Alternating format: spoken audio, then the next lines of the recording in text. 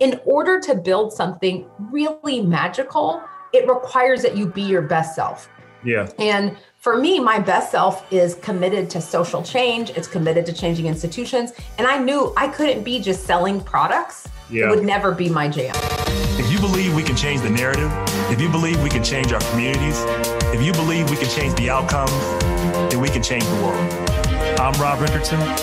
Welcome to Disruption Now. Welcome, everybody. Uh, Rob Richardson here, Disruption Now. It's great to uh, have the listeners. So, everybody uh, listening, please, uh, if you're watching us on YouTube, like. If you're on, if you're on Apple Podcasts, please give us a review. Uh, we're always happy to have your support. With me today is uh, is a kindred spirit that I didn't know was a kindred spirit, but I've looked at her background, and I mean, she's she's she's a, twin of mine in a lot of ways. Um, so, Phaedra Phaedra Ellis Lamkins has been uh, really about impact and power for a long time. She has background in the labor movement. She has background in fighting for criminal justice reform, uh, and she's taken a lot of her knowledge and is applying that to doing good in the world and using the power of entrepreneurship and the power of tech for good. Uh, a lot of times when people think about it, they think about it only in terms of uh, how can how can people make the most money uh, in the most in the fastest and most efficient way without worrying about the consequences. And what I appreciate about Phaedra's approach, specifically with our company Promise, is that its whole goal is tied to uh, having impact and, and, and understanding that you can both have impact and have profits. The two don't have to be mutually exclusive, nor should they be. And, and, and figuring out how we can use the power of technology uh, to help those who often are overlooked with the technology in terms of the technology revolution and where we're going in this world. So it's my honor and privilege to have her on. Phaedra, how you doing? Good. I'm so happy to be here and I'm so excited to hear more about your background. And it does feel like we're kindred spirits. It really does. Like you, so you started in the labor movement. As I, yeah. I told you, I'm a member of the Laborers International Union. My mm-hmm. father, uh, a lot of the reason why I'm standing here is because of, uh, of what he was able to do. So uh, he he started off as a as a laborer uh, mm-hmm. and worked his way up as business manager and everything else. Oh wow! Yeah, and, and, eventually he's a he's a regional manager and vice president. But I tell people this story often that you know a building he literally helped build. He had to drop out of engineering uh, to help mm-hmm. provide for. Uh, it was my it was my sister. It wasn't my fault for this one, but it was my sister. he had to find uh, a way to provide, so he had to get a job, and he became mm-hmm. a laborer. And then he um, uh, he became a laborer and actually, the building he worked on, it was, even though he couldn't become a, he didn't become an electrical engineer. He could have, he just couldn't at that time. I ended up graduating electrical engineering, and, and my and my picture literally hangs in a in a building he literally helped build with his hands. So, oh wow, what a great story! Yeah, so it's been a part of my mission, and I've done a lot with community organizing. I want to talk there because uh, I know you have a lot of background specifically with working with labor mm-hmm and if I remember correctly, figuring out how to work with labor and and and, and getting jobs that are environmentally sustainable because that's been mm-hmm. that that is continues to be and is a really big issue. Uh, talk about your background there and how that's informed what you're doing to this mm-hmm. point right now. Mm-hmm. Yeah, I um, one I always love hearing people's stories, so I really appreciate you sharing. Um, I started in the labor movement pretty young. Um, uh, the labor movement was transformative for me. My mom was a waitress at a place called Bill's Place in San Francisco. Okay. And uh, she went back to school and got a union job. And there was, uh, I like, you know how you have life moments that shift. And for me, the day my mom got the call, and she was like, I think it was like 10 or $12. And it was like, you're going to make, and she was like, what will I do with all that money? And so it was like I went from free lunch to reduced lunch, which was a big deal in my life right. uh, in terms of where you stand up to sign up for lunch. Um, and so for me, my mom getting a union job was transformative. We didn't use Medi-Cal stickers anymore. I had to pay for lunch. It just like it created a sense of dignity that I didn't know I was not being given until I got it. And so I just thought when you have that shift in your own life, you want that for other people.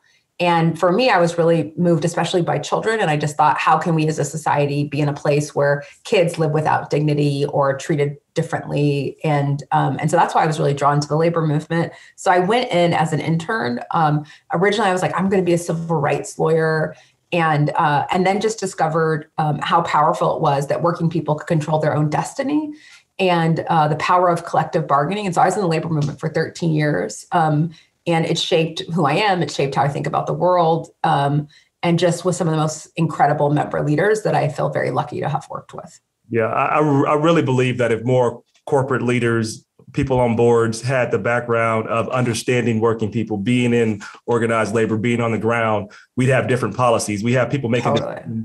that, you know, you can say something is nefarious intent. I don't necessarily think that's it all the time. It's people that just don't even have any understanding of the other perspective. So they make decisions and they're not proximate to the to the people that are being affected by those decisions. So I completely agree, and it's a very inspiring story. Um, I really want to talk about. Uh, I want to stay a little bit on this point. I do know there are also little challenges within the labor movement in, in, in terms of interacting yeah. and working with the community. We can be really. Uh, I'm very frank about this because I, I, I work uh, in the building trades in terms of, and we're with the labor, so we, we tend to be a lot more progressive and inclusive. Uh, but there are some issues there in terms of how people view, uh, you know, how labor, how the, how the labor movement uh, needs to be more connected sometimes to the community and, and, the people that it serves. Can you talk about any challenges that you may have had, or where you see as opportunities now that we can uh, that we should be bridging the gap and doing a better job of? Yeah. Um, well, one thing, uh, being a black young woman in the labor movement, yes. leading a labor federation, was its own experience. Oh, please tell. Yeah. it's like I was 27 years old and wow. was running a local labor federation. And um, uh, it was uh, to say, the, and we were really progressive, right? And right. so the first thing you don't normally see a black progressive running a labor organization. It's that right. you looked in the room, people like, right? Like, what? What? what? Wait, what's going on here? And and at the time, there was a separation in the labor movement, and SEIU and some of the uh, very progressive unions were yeah. potentially leaving the labor federation. And so I was this new labor leader who was like, "We should be more progressive. We shouldn't work with just the AFL-CIO." And I ran the AFL-CIO local federation, and like, we should. Uh, so it was it was somewhat. Uh, I think it's probably the only time I've been called girl. Like uh, someone said, you I was shucking and jiving, and so it was uh, a really fascinating experience. Um, and but the thing that was always compelling to me is is that the power of the labor movement is like in the moms who are janitors who work two jobs who are tr- living in garages making a better life for their families. And so for me that was always the center of the labor movement. I was always shocked when i dealt with the national leadership because it was just like a culture shock because it's like leaving home because yeah. in the local movement i felt so supported and nurtured and the had a real clarity of vision. Um, you know speaking of uh, building trades i was once at a rally and i was speaking in spanish and this like uh, camera person screams speak in english speak in english and i see like the carpenters just zoom like and it was just like i felt so like such solidarity and so yeah. um so one thing i think that's really important about the labor movement is you have to measure success because people are paying for your salary. And so what I appreciated about the labor movement is that, but it also made it hard to your point to think about community interactions because sometimes I would be working with community groups who I had the highest level of respect for, but they didn't have members who were like deliver this by this date. So I remember someone saying like, we should lose this because it doesn't feel right. And I was like, um, my members aren't going to be like, I should lose this because it doesn't feel right. They're going to be like, go get, we need healthcare and benefits. Mm-hmm. And this is not a moral victory that there are moral victories to be had, but you don't have the moral victory at the expense of someone else's family. And so, yeah, yep. that's uh, always the, yep, that's the challenge. I think it's, uh, you, you stated it very well. I think it's a two-sided challenge. It's the challenge mm-hmm. of, okay, so you, you, you have people that are like, okay, we have to just do this because it's something we have to do right now. Right. No matter the consequences, do it. And then you have the other side, though, that I think is the challenge for when you have some power and when you're in the mm-hmm. leadership structure of, uh, of a labor movement, you may not have as much power as corporations, but you have some power. You can't you can't also just be internally focused because we have to, I think, continually be outwardly focused to show value to working people yeah. because if they because if people don't support the labor movement, it's going to hurt them, but it'll hurt everybody. But we have to be uh, we have to go out there and continually, I think, uh, be more externally focused, even if we don't get a direct transactional benefit. Uh, totally.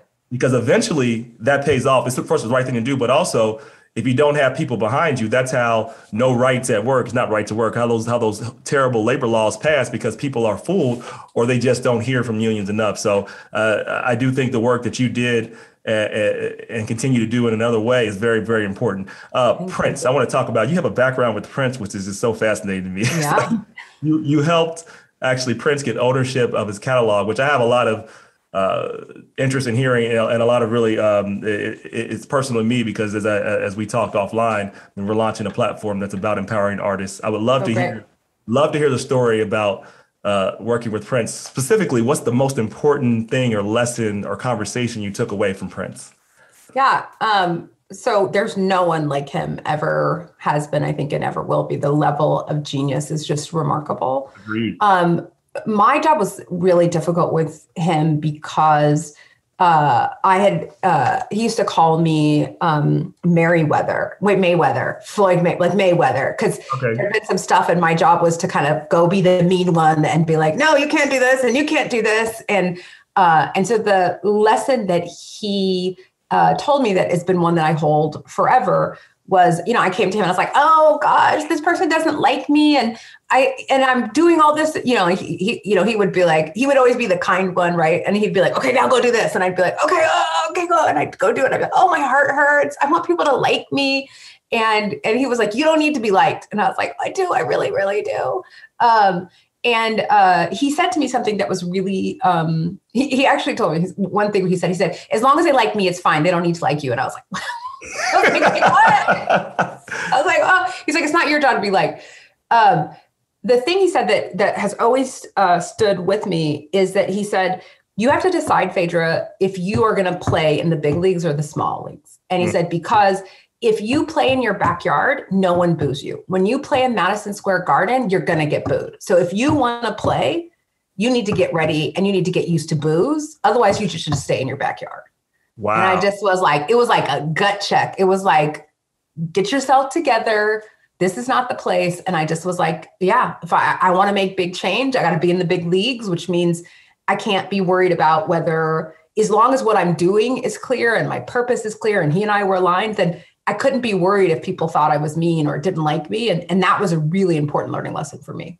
Wow. That is a that is a powerful lesson. Right. Uh, I, have seen some uh, uh, clips of Prince recently and had no idea his level of like philosophical intellect, like oh. things like that. Like you wouldn't, people wouldn't know. And I really think maybe we should make this part of disrupt art. People need to understand the other side of him outside of music. They need to understand because I don't, I didn't understand. Like this, this brother was deep, deep, deep. He would send me YouTube clicks, clips, and he would just be like, uh, the the funniest but also worst is when he would call me, be like 2 a.m. and I'd be like, uh oh, he just got something he read, something he wants to talk about, and I would just be like, uh oh, this is going to be a really important lesson. But uh, yeah, he he was literally the most brilliant human I've ever met, and um, just committed both to faith and learning. And it's interesting because I hadn't been a fan of his music um, until of course you work with him and hear it and you just can't there like he's destroyed all music for me.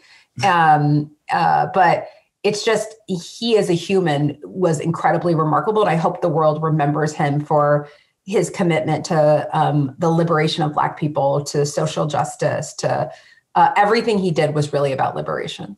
Yeah and, and i don't think people know that. Like i didn't know that. And the fact is you know what what this show is about what i'm what i'm about in general is about uh, you know, changing common narratives and constructs uh, and, and, challenging them. And I, I, didn't tell you this story about me. All my listeners know the story, but I'll be very brief when I when I say it. And why it's important to me is because you know I, I have ADHD. Not that that matters. Mm-hmm. When mm-hmm. I was growing up, uh, they viewed it as a they they viewed it as a learning difference now, but they called it learning mm. ability then. So something mm. was wrong with you, right? If you weren't uh, mm-hmm. learning the way everyone else learned, and uh, you know, but luckily I didn't accept that as a label for life. in the eighth in the eighth grade, I told my teacher all of my dreams and aspirations, and Phaedra, he essentially said, like, you're not going to be able to do that. Look mm. at how mm. you're not going to college. Look at look at your academic record. Like, you need to be mm-hmm. more realistic in your assessment. And uh, my mother gave me words that stick with me to this day. She said, "Look, uh, you never have to be defined by anyone's low or narrow expectations of you." Mm. For yourself, by yourself. Mm, that's such good. Never be defined. That's right. That's right. So I, I, haven't been, but my goal is to make sure others aren't either, and uh, that we destroy these narratives and these constructs that are put forward. That if you're a black man, you are only this. If you've done this, you're only this, or you can only be this because you're from a certain area. Like so, my mission in life is to do that. So that's the reason why uh, I think it's so important for people to know the full scope of who Prince was. He was more than a he was a lot more than an entertainer. That's what he did. That wasn't his mission in life. Mm-hmm. It's about empowerment, like you said. Uh, let's talk about a little bit with, with your work with with Van Jones. We talked a little bit about it, uh, but you've done some work mm-hmm. uh, with uh, the because you were the CEO for Green for All. What was mm-hmm. what do you see still as the biggest opportunity and challenge when it comes to climate change at this moment? Yeah. Well, one, you could just appreciate the culture shock of going from running a labor federation to going to Green for All. That's and that, that's the culture shock. I was just like the cold. I, I was like, I went there and I was like, how do we measure success? What are the you know like? And I was like, oh lordy. And, and coming after Van, who Van, who is like the most. I remember the first meeting. Like we start every meeting with a song, and I was like, okay, cool. And then I was what? like, uh, wait, wait, wait what? Rewind that. So at a van meeting, he starts every meeting with the song. Well, yeah, because it was like very soulful, artist driven. Um, it was just it was introspective, and it this was like you know hundred years ago. And so I had come. The only place I'd ever worked was the labor movement. This wasn't hundred so, years ago. The CFC uh, Green for All. I mean, it was like what ten years ago. It was twelve saying, years ago. We're saying, we're saying that's hundred years ago, guys. Okay, no, I know. Wait, wait, make us that old. Yeah, I know. Before Obama, so we've had three different. We've had three presidents since I was oh, there. Okay, yeah, all right. So it feels yeah. like feels like pre-Obama is like another generation. Yeah. Um, and so so the difference was they were like more community oriented not it wasn't even community oriented but it was much more like i never no one ever cared about how we felt as individuals when i was in the labor movement. It was like it wasn't a it was about the outcome the measurement. It was about yeah. how, you know like success was not measured about how we felt. Success was did people's wages improve? Did power get you know like did you increase power? Like it was very clear. So to be in a place with that a different level of like it's about our personal experience. It's about that for me was just like i was like what are you guys talking about? Um, so it was it was amazing.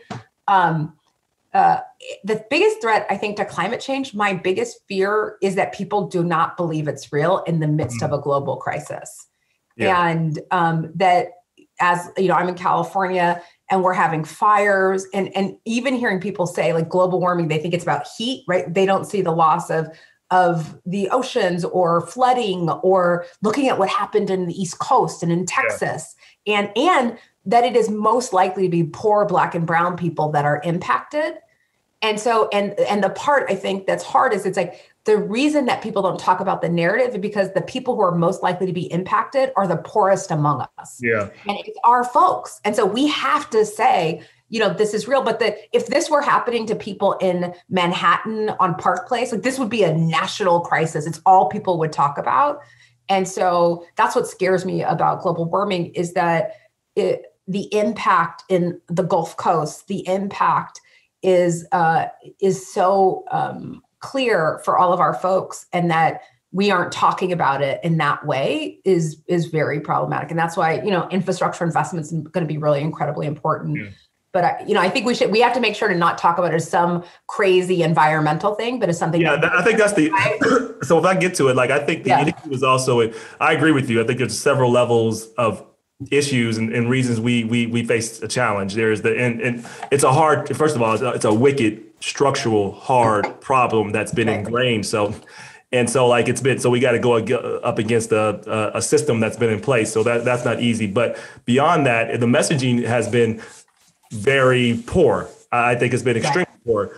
People, when they tend to think of uh, cl- uh, climate change activists, they tend to think of one or two uh, areas that don't see one or two, I think, pictures that aren't aligned with reality of who's being affected. I think they think of tree huggers. People are like up against a tree, hippies, so on and so forth. And I'm being, I'm making generalizations. This is not accurate, but I think, I, I think if you, the average person, if they're being honest, what they think, or they think of people, this is an elitist problem that they get to deal with, so on and so forth. And it's been, uh, and, and it's been the challenge is people, it hasn't been described in terms of how it affects black and brown people. The people leading these organizations tend to not be people of color, tend to be not people that understand or connected to these problems. So if you're trying to uh, uh, if you're trying to articulate a vision for a problem that you're not all the way connected to, it becomes you, you there there's a true disconnect. So uh, and then three, I think it's a challenge that it's something that even though people see these things happening all the time, until it actually happens to them, it's harder. So it's just kind of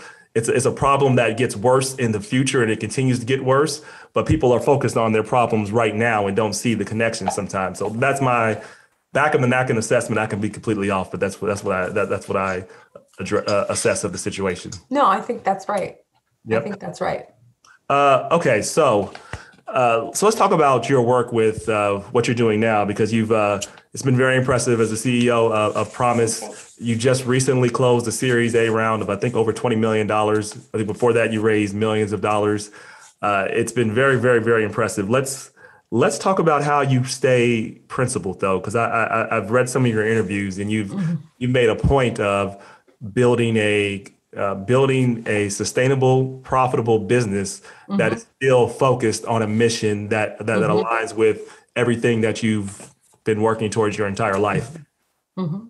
That sounds um, good in, in, theory. How do you do that though? Like it seems like it's so it's hard. It's so hard. I wish it. I wish I could be like, and now we're done. Uh, the biggest challenge is there's not a lot of models for companies that are building capital businesses that are not extractive. And so, like when I was like, we want to build a business that doesn't harm people, the model I would hear is Ben and Jerry's and yogurt, right? It would be like, oh, these are the two companies that have managed to not harm people. And I just was like, there has to be a better model than, than the ice cream and yogurt. Right. Uh, and so, so uh, the work we do, we started really focused on the criminal justice system. And um, what we discovered is that the system is uh, any efficiency you create for the system is problematic, even if you're doing good, because the system is so um, mm. either broken or working. Wait, back that up. Any efficiency yeah. you create is still problematic because the system is, is corrupt. Is, right. Yeah, you just can't because like originally when I was like, it's like, oh, we're gonna make the system better because,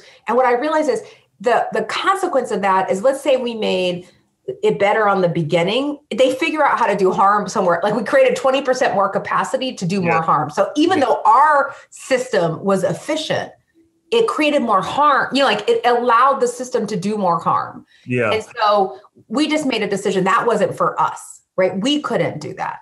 So back up. Let's talk more about what and and because we, we break this down to several layers about the criminal justice reform, what moved yeah. you. I want to talk about that let's let's take high level picture first. What does sure. Promise do? And let so people get an understanding of what your business does, and then we'll talk about what motivated yeah. you to come up with the idea specifically in the criminal justice system and what problems you see there and how you want to solve them. So let's go big picture. There, yeah. Promise, you started off being this. What what what, what was it? So uh, Promise, uh, we work with government because we believe that government is an institution that's important for the people that we grew up with and the people that we care about. And so when we first started Promise, we were very focused on the criminal justice system. We were trying to figure out how to scale bail reform. Yes. Two thirds of the people that are incarcerated in jails are there uh, before they've been convicted of the crime. So they've been charged but not convicted. And it's a lot of people with nonviolent offenses who are there because they can't afford to get out. So if you think the system is broken, we wanted to think through how could you use technology to be able to get people out more quickly or not have people incarcerated at all because they have not been charged with a they have not been convicted of a crime. And so the idea that we incarcerate people because they're poor is unacceptable. And the idea that we incarcerate people before they've been convicted, right? Because this isn't a risk thing, right? This isn't like you've, this isn't someone who's murdered someone or done anything. This is really just a, and because we know the system's so broken for poor black and brown mm-hmm. people right? You're more likely to be stopped you're more likely to be arrested and so if you're looking at a broken system and so originally what we thought is we're going to work to understand risk and to be able to make the case and provide software so that people can go home instead of being incarcerated. Okay. We, we, had some success. it seems, it seems that seems yeah like it was good we had success. But then i was sitting in alabama in a meeting with some folks and i literally two things happened to me. One i was at a conference and the, this these folks started telling homophobic jokes. And this was like the head of a statewide system with the, the head of a company. And i just was like this is like how they talk when i'm here? Lord knows what how they talk when i'm not here. Yeah how they talk and, about you Right. Because I guess they think they can be homophobic since I'm black. You know, like it, it's like this is our good level of discrimination. So I just was like, and you know, I can't control myself in those kind of situations. So I was just like, this is unacceptable. You're like me. Right. I was like, what the what's wrong with you? And my poor co-founder was like, oh lordy, here she go. I was just like, what's wrong with you guys? So I was like, oh, not gonna be able to sell to those people. Yeah. So then I was in the South in a meeting and literally the people were talking about keeping someone in jail for a pretrial arrest for seven years on a marijuana arrest and i just was like i felt like i was in a movie it was just like do you remember the Dukes of Hazzard where the sheriff is just Yeah, like, the- right? Oh, unfortunately, You remember Boss Hogg?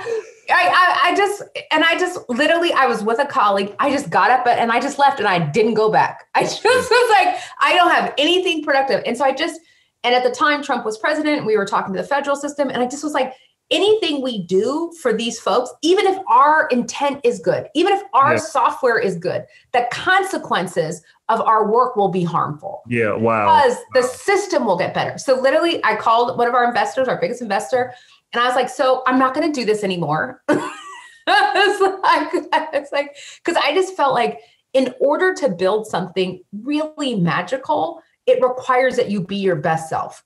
Yeah, And for me, my best self is committed to social change. It's committed to changing institutions. And I knew I couldn't be just selling products. It yeah. would never be my jam. Like it just, Yeah. it, it, it wouldn't be. I, I I couldn't do it. You and I have that in common. Uh, I think you you quoted as saying, "Good software in the hands of the wrong people can do bad can do damage." Which Right, is, just right. yeah, it's just, wrong. just does right. It does bad. And even if I had good intentions, and so I just was like, we're not going to do this. And so I was like, I'm gonna return all this money, and um, and then what I was uh, sh- uh, struck by is that, and our investors like, no, we believe in you. Keep the money. And I was like, okay.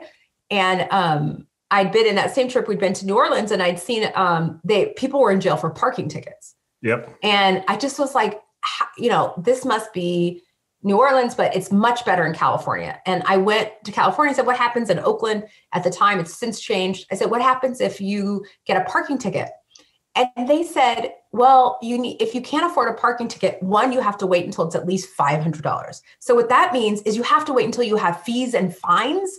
You can't you don't owe the original ticket probably. So it's like if you're too poor to pay originally, you have to wait until it's more expensive because you couldn't pay it to put it on a payment plan. Mhm. And then you have to pay 50% down and you have to prove you're poor to pay them to put it on a payment plan. And you have to come to their office with your taxes. And so just like, if I want to buy a Peloton interest free for six months, I have to answer like three or four questions. But if I'm poor and I can't afford a ticket that the consequence is jail, they make it as difficult as possible. So I just was like, this is unacceptable. And so that's how we ended up in the payment space is at the time the government wouldn't work with us. And so we just scraped their system and we just started paying people's tickets. And like only through the grace of God and people's spirit, 93% of people paid us back. We didn't even have their address. Wow. And so, right? Wow. It's just wow. Wait, back up. Let me just make sure I understand what you just said. So you, you essentially just paid people's bills and hoped they would pay you back. You didn't even have their information at first. And No, all we have- percent of them, ninety three percent paid back. I mean, that is first of all, what a leap of faith. So um, and, and and it's and it's awesome that they did, and it, and it shows you that you can have. That's very scary, by the way. So you really took a leap of faith. We took a- principle. total leap of faith. And and and and people and I would just like I remember one time this guy didn't pay us back and we were like, we don't even know where he lives. So like what could we had no recourse. We could send a text message, excuse me, you you didn't pay us back. Was there And anything we- in particular that you guys did? Like, what what do you think made you successful in people saying, "I want to pay you back"? I think what we did is we sent reminders to people about um, their bills. We, um, I think, it, as silly as it sounds, all of our systems are built as though people want to pay. So hmm. when people don't pay, we don't presume that the thing to do is to be punitive. Right. And so right now, payment systems are really built for people who have money. So it's like you pay on this date once a month, and if you don't pay, you fail in government. But the reality is, of like a lot of people I know is you don't just because I have money on the 12th doesn't mean I have money on the 12th again next month. I might have money, you know, on the on a different date. And so so our systems are just designed. So, like for example, if someone misses a payment and they make it within two weeks, we don't have late fees. We don't have, you know, like it's just like because the thing we know is when we run someone's credit card and it fails, a majority of the time it's insufficient funds. So Right. what do we look like trying to threaten people? Like it's like Exactly. you don't have money. It's like so the payment system, if we want people to pay, we should just recognize it's not that they don't want to pay, it's they literally don't have money. And so Right. you just act with grace. So the business model sounds like, because I'm trying to figure out how, how one makes money. Uh, yes. Like it's so you work with governments who are very who have a poor return of getting yes. the money in the first place and using your process to get the money, but they they pay you for it because they get less. They're not going to get the money anyway, but you're doing it in a, in a more effective way, essentially. Exactly. And and to be really specific, you and I were talking about uh, Tony Parrott, who was one of our as a client in Louisville, who runs the Louisville uh, uh, water uh, sewage. Is uh, in a place like that because of COVID, there were thousands of people who were not paying their bills um, because they were unable to because they'd lost work. So one thing you could do is just shut off everyone's water. And in a lot of places, there's so many people that would have had to been shut off. It would have taken years to actually shut off everyone's water. Right. And so instead, what they do is what normally you would do is shut off people's water and then you would turn them into collections. And for government, you get uh, much less money when they go to collections. And um, so what we say instead is we will work with someone to get the money paid back. Um, but we want to keep their water on. We don't want someone's water to be shut off. And we're going to give them basically the term. So instead of saying, like, uh, you have a six month, like we think of it as you have a six month term instead of just like this day, this day, this day. And then and in Louisville, there was a case study, and again, 93% of people paid it back. And so it's such a better value proposition for the government of Louisville to be able to say, we're going to get 93% of this money back. We're going to keep people's water on. And it's so much more inexpensive than collections and so it tends to be a win-win because the person gets to keep the uh, resource. Um, we think we're going to root for them. We're going to take Cash App, Venmo, any way you can pay. We're going to make right, it work. Right. And so, so anyway, that's the that is because you either would get, you know, uh, for uh, collections, they sometimes take up to sixty percent of the money they collect, and they collect at very low rates. Wow.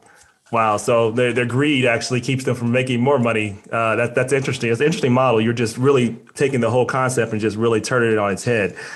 Um, you've had success fundraising. I want to go back to that as a as a black woman. I, yeah. I, I, really, I really hate kind of talking about these things as first. You're the first black woman to do this and that because it's like, a, but but but the, the the the statement is though you still have had a lot of success um, and we still have barriers. And I, and I know you mm-hmm. understand that a lot of it has to do with opportunity and timing. And you're also brilliant, but all those things come together. Mm, thank you. I, I know you understand that. And that's the reason why I'm, I'm, like hesitant to say the first black woman, this and that. But you've had success traditionally where others have not. Mm-hmm. What lessons do you think we, what lessons would you, would you like to share with the audience in terms of how they should be thinking about it? I, I like to learn it for myself as I have a startup I'm working on now. Like what is, okay. what's the best approach here when you're first starting off? Uh, even if you have some initial capital, what's the best approach to think about fundraising uh, to have success? I just realized we've raised like over 50 million. Just as you're sitting here, I'm like adding it up. I was like, man, we raised 50. So you, you have, so you're, you're, you're, you're, you have, you're very much an expert in this area. So I'm all ears and I will share. Yeah, we definitely, we raised, um, uh, one is, I think uh, one is we should just acknowledge that venture capital is racist. So like we should we should not pretend because I think uh, I have been lucky in some places that we should like. So if it doesn't happen for people, it's not it's not because it's a skill. The system is structurally broken. So we should just acknowledge that. Right. Um, I um, was really lucky when I left working for Prince. What I was struck by is that uh, the technology was not working for artists and especially legacy artists of color because the uh, technology was devaluing content, meaning that people were making less. And so I was like, wait, technology isn't good for the environment. It isn't good for the labor movement. It isn't good for artists. So I was like, we should understand this. So I went to work at a company called Honor, which I'm on the board of now. And um, Honor uh, did home care, which was perfect. I'd been an SEIU organizer and IHSS and in home supportive services. So I was like really excited to do that. Um, and I went there to run operations, but I actually ended up running revenue. And um, and so I was lucky when I went to raise. I had um, been in a company and been responsible for making money yeah. at a company that was doing well, right? That had raised hundreds of millions. You know, I don't know, it's maybe raised a hundred or two hundred, more than a hundred, couple hundred million dollars. And so to be able to have that type of experience. And Marc Andreessen was the largest investor from a firm called Andreessen Horowitz. And so it was just like, I didn't know anything about tech. It just happened to be the company I went to work at, had a good investor, and then I ran revenue. And so but I think that's uh, a really important point, and I want you to continue. Yeah. Because people get into entrepreneurship And, and, there's this myth that's like, oh, the best way to be successful as an entrepreneur is you have to go out there first, risk it all. And what you're showing is that actually a better path, and I've heard this more and more, is to actually have some experience, maybe even as a regular job in the corporate sector and other, and leverage that experience versus trying to have to learn everything on the fly as an entrepreneur. Oh yeah, I'm I'm pulling that lesson as one that I think we that people need to listen to because there has been this illusion online that the best way to make it is just to go out there, risk everything, and you have to be willing to take the risk. And if you have a job, then you don't know what it means to be an entrepreneur. I mean, it's it's it's it's. I, I think we've. Over, it's like overrun. rich young people say stuff like that because like, I'm like, I don't know where people live, but like someone else wasn't going to pay for my kids to go to school. So like, if I didn't have a job, there was no. I, I didn't. I know people are like, why didn't you go to business school? And I was like, business school, like who's going to pay my mortgage? What, what do you? And I hear people, I had student loans. I was like, I didn't have parents that, you know, paid for anything. My, you know, like I didn't send money home. right. you know, like, so it just doesn't, I, when I hear the that, model like being broken, because the model is you're supposed to be able to come out here take all risk and that's what Mark Zuckerberg did, and that's Mark Zuckerberg's parents were going to cushion him and send him to Harvard, which is amazing, and everyone should be so lucky. Right. But my, I went to Cal State Northridge, and my little sister went with me to school while yep. she was in high school. we shared a dorm room, so it's like that was not my reality. No. and yeah. it's not the reality of most uh, of most people especially not most people of color. So we shouldn't we shouldn't apply a model that only works to the very elite and the few because it's well it's a bad model. And two we're missing out on opportunities. There's there's probably more promise uh, uh promise companies that could be out there had, had people look beyond that limited scope and model. But i still think it's an important lesson to look. It's not just going out there and just saying you need to go out there and be an entrepreneur. Actually it is having some experience. There's nothing wrong yeah. with learning in the corporate world or learning in, in, in, from community organizing.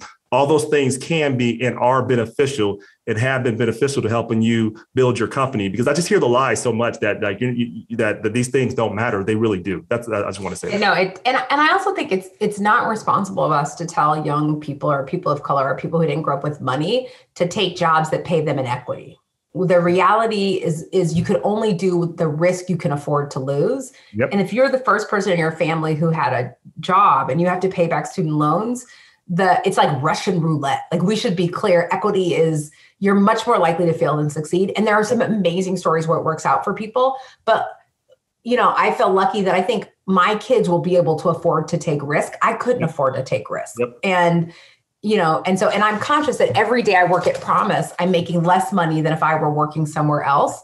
So I'm taking risk for my family. And so, but I, uh, you know, I just think even when I right out of college, I had student loans to pay back. I had to send money home to because my mom, my, you know, like I had to help financially. And the idea that I would have gone somewhere, made twenty thousand dollars and worked for free, like I just, it wasn't in my reality. But uh, uh, Phaedra, it's, also, it's also a myth. Like it's a total. Google didn't do that. They they were still they were at they were in a college, and the people that started Google were still had their jobs in college. Warby Parker, they didn't do it. They had a Nike.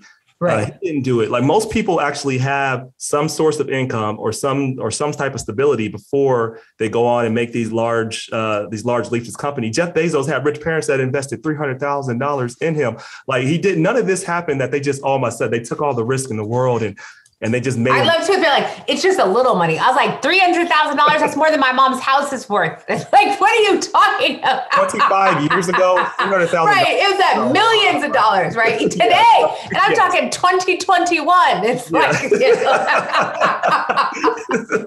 so, oh my gosh. So, um, let's see. So you, we talked about fundraising. Um, mm-hmm and you talked about the system being so corrupt. I, I, I, am and I agree with. Obviously, I'm curious. What role do you see in, in, in Promise playing five to ten years from now, and really taking a dent in the criminal justice system to make it less unjust and more and more just? What do you think, see your role, and what, what would that look like? So part of what I think we're doing is one is trying to turn systems that are punitive in nature and make them uh, instead of being punitive to actually be rooting for people's success. So i think that's one big thing i think that we're doing is we're showing people it, you don't have to tell someone you will go to jail if you don't do this. Like that's actually not the best way to run a system. And um and so i think that's important. And and uh, I think it's very basic, which is if people have money, we assume we should treat them with kindness and flexibility. And yeah. if people are poor, we should treat them with consequences and, and rigidness. And so the biggest shift I think for promise is that there should be no shame and it's honorable work that people are doing and the, the idea that there's shame and poverty is unacceptable and so mm. my hope is that the same privileges we give to people in payments who have money that that promise will force those same principles of respect and dignity into the system of government and into the you know like i want people who to say why would i pay you interest like that's what i'll promise doesn't charge interest well you know if i need to take six months to pay something off why would i pay you interest right it's why you why would we pay the government interest you right. know, like that's insane. None of our payment plans have interest. And right. the idea that people pay interest to the, you know, like, so shifting people's thinking. And, you know, we do something called self self attestation, which is you just say, I qualify, right? Instead of having to provide your taxes, because we think people's words matter. And um, people are like, this is so easy. I can't believe this is real.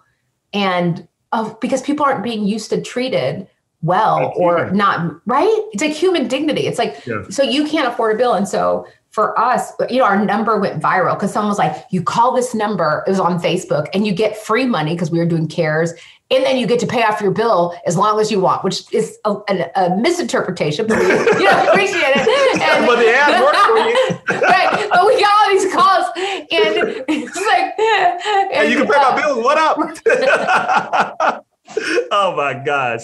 Oh man, that is uh wow. But that, that's I think is a testament. I was like, I'll t- I told the team, I was like, that's as good as it gets. That's yeah, as like oh, that's the best. Word of right? mouth.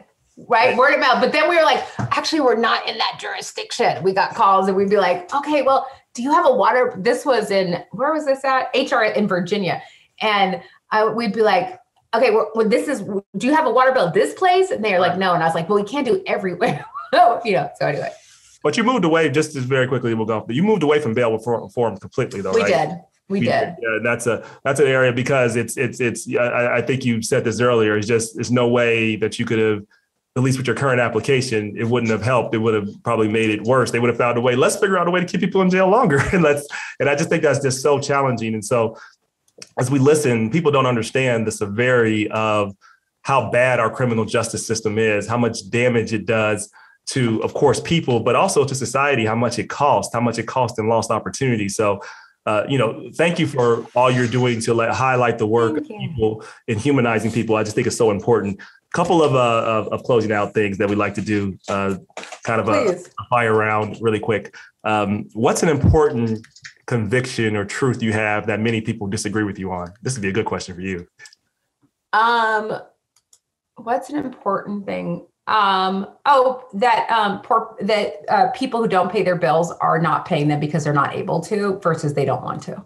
Yep, I figured that. I figured it's gonna be something like that because you already said it, but I wanted to. to yeah, no, people are always like ah, and I always like like I'm always like, what's your react? Uh, we I one funny conversation I had with someone is is I was saying we you should you know people should you should be able to pay in the morning because and uh, the day you get paid. And the person was like, why does it matter any time of day if you get paid on that day? And I was like, because people's money is gone by the afternoon. And he was like, how could someone's money be gone the day they get paid? And I was like, what are you talking about? It's gone before they get paid. when I was growing up, payday was just like the day to pay back what we owed. It wasn't like but that's also the problem. Like people that are solving these problems aren't connected and don't have an understanding of what the real experience is. Uh, but to your point, being poor or being rich has nothing to do with your values or the type of person you are. Right. There's a lot of really, really bad people that are rich. There's a lot of great people that are poor, vice versa. The two are not connected to your values and who you are. But we as a society, if we're honest, we see the two as tied together that if you're poor, then that means there's something wrong with you. It's because you're a bad person. It's because you have bad behavior, so on and so forth. And those things are not true. Uh, but we've been told those lies as a society. All right. So um, you have a billboard uh, Google ad that uh, that is your saying or theme for life. What does that say and why? All people deserve to be free. Yeah, and you pretty explain you explained that pretty well already. Uh, all right, you have a committee of three, living uh-huh. dead, to advise you on business, on life, philosophy, mm-hmm. whatever you want. Tell me who these three people are. Why? my nana who passed away, who is like the, uh, uh, you know, like there is one person in life who like I feel like you're really lucky when someone I, I heard this once that when someone's eyes light up when they see you. And so for me, the measurement of that of my grandmother, like I can just measure myself. Is she disappointed? Okay, I got to do differently. Is she happy? So she would definitely just in, as a human, and and I just trust her. And uh, uh, she worked at Macy's and was a member of UFCW, and so just definitely my nana. Okay. Um, I think um, The Rock, Dwayne Johnson. Um, he's on my list. I want to meet. He's on my list to meet too. I, you know, like it's the thing that's so interesting to me about him is he and Kevin Hart. I watched their discipline, and this is the one thing I learned being in music is people who are disciplined win. And so, and it does, it's, it's talent plus, but the level of like just ethos around dedication and discipline. So I'm really, and I'm fascinated that he does it in such a way that is kind. It's not, and I feel like when you and I probably were both in the labor movement, where everyone we saw who had power was mean and rough, like power was screaming at people. And so, like, just learning a different way of being is so aspirational to me. Like, oh, like, you know, I grew up like, which you probably did in the labor movement, where it was like people screamed at me and threw yeah. things, you know, like it was like that was power. You were like made people small. And so, how do we figure out different models? And so, I'm, I'm really interested um, in uh, The Rock um, uh, is very, very interesting to me. So um, I would love to just have his advisement. He's on my and, list too. That's funny. See, is he? Yeah. So just like, and again, they could be living or dead too. So you you get right. You get, then I'm trying to think about who else would I want. Um, um, I don't know. I, I, gosh, it's like one more. I have. To, I don't know. I have to. We can end it two. We can end it two. They'll feel no. Well, I would too because oh, you know, one one I'm really yeah. Anyway, so I there there's like all these women like in a group that I'm just trying to get through because I'm really interested in liberation stuff. But yeah. uh, but yeah, I would probably stay with those two. Oh, anyone who's physically fit. I am increasingly believing that mental health is physical health. And so anyway, I, it, we can have a whole different conversation. So that's why I'm like, oh, is it physical? Is it mental? Is it, you know? I think the two are tied together too. Right. I, I make a, a really concerted effort every single morning to get up early, work out, not right. not for any reasons. Like I want to stay in shape too, but it also helps me not go crazy in the middle. Literally, right? So, yeah. Just sitting in front of a screen all day can also drive your brain crazy, uh, as you know, I'm sure. Uh, one one final question: advice you would give yourself? You were what advice would you give your younger self at any point? Maybe it could be when you started off in entrepreneurship, labor movement doesn't matter. And what advice would you ignore? Um, I would I wish I would have known that everything was going to be okay. Because I think when you grow up a certain way, like one, you think you're going to die early. And um, two, I just wish that I had, um, at, like, I just wish I had understood through everything. You know, someone said to me that the light, they, the someone said to me who was coaching me, they said the good news is for every dark thing, you've come out with more light. Mm. And I think I didn't understand that. And so I just would be like scared of the dark. And each dark moment would overtake instead of seeing it as an opportunity to realize now I know I'm going to come out with light at the end. So mm. even if this is dark, there will be light at the end. So I wish I would have known that because I spent a lot of time just like, oh, shame, worry, you know, like where I should have just been like, it is what it is. And there's something really amazing about as you get older, where now I'm just like, all I can do is show up and be the best I can be. And if people don't like it at a certain point, you just gotta go with it. Um, I wish the um, the part that I would have never listened to is anything that made me try to be something I wasn't, and um, tried to make me like contort. Like I was a heavy, poor, you know, black woman who went to Cal State Northridge and community college. Like I felt, you know, like everyone would be like, oh, you like, uh, I was talking to someone said, use the words machine learning and you'll, people will really think you're really good. So you show, you know, tech, use, uh, you know, like use the AI, use the word AI. Like, I don't know what AI is. I don't use ML. like, it's like, why was like at this point in my life, why am I going to be like AI, ML? Like I run a software company. We've raised $50 million. I don't know how to use AI. Like it, someone on my engineering team might, but it's like, so I just think that's the wrong life advice advice at this point is you just you just you only win by being the best you can be. Amen to that. And to conclude with that, it's a one thing I just learned this week. So, uh, a quote from the Bible that talks about humble yourself so God will exalt you. Uh, mm. Right. And I've, but there's a different definition of humble in the Hebrew language. It comes from the word, and I might be saying this wrong, Avana. I might be saying the word wrong, but this is what the word word means to humble oneself from the biblical purpose. It means to take your uh, your your God given space, to occupy your God given space in the world. That's what it means. Mm. Very different yeah. from what people have thought uh, have have said that's what that means, right? So at the end of the day, when you talk about like, yes, you need to do this, and like when people talk about being humble, normally they talk about lowering themselves or moderating. No, it's about making sure that you take your place in the world, no more, no less. But you take your place in the world, and as you said, you don't you don't shift or you don't uh, uh, right. uh, change who you are based upon being in that situation. You do you go in your God-given space and move forward. And So you definitely I love that. I love because right. It's like uh, at the end of the day, all we can do is God told okay, God gave us certain skills, and we we yep. have to use those. Right. We could either like and then be. Let me be clear. I'm clear. I got to come up. So it's like like just clear. I know I grew up on food stamps. I can assure you, like I'm like I'm real clear that I need. That's why I was like I can't be stressed. I gotta be like just too too blessed to be stressed. So. Yeah uh, Phaedra Ellis Lamkins, you've been. This has been a uh, a wonderful conversation. I, have loved it. I definitely want to stay in touch. Yeah, absolutely. Now that you exist, I know. Like, yeah, this is awesome. So thank you so much.